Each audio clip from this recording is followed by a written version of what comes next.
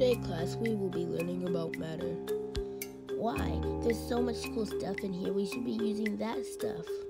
No, not yet. You are not ready for that. I totally am. I'm in sixth grade now.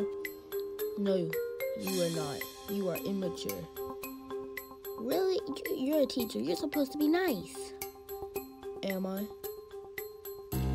Guys, can we can we get to this? I it's just me. Yeah, I agree.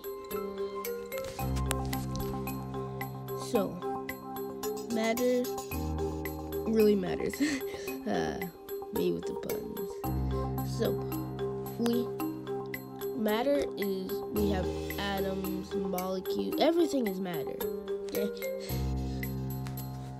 And that is very important.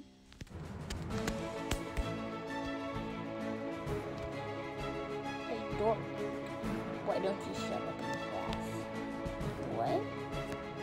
Why don't you shut up in class? Uh, because I wanted to get on with things. Hey, leave him alone.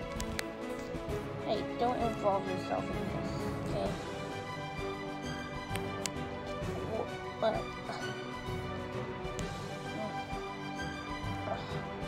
You just, why are you gonna be like that? Hey guys, what's going on here? He's being mean. Well, he started it in class. What did I do? You told me to shut up. No, I didn't. You told me to shut up. No, no, I didn't. He didn't. I, I promise. I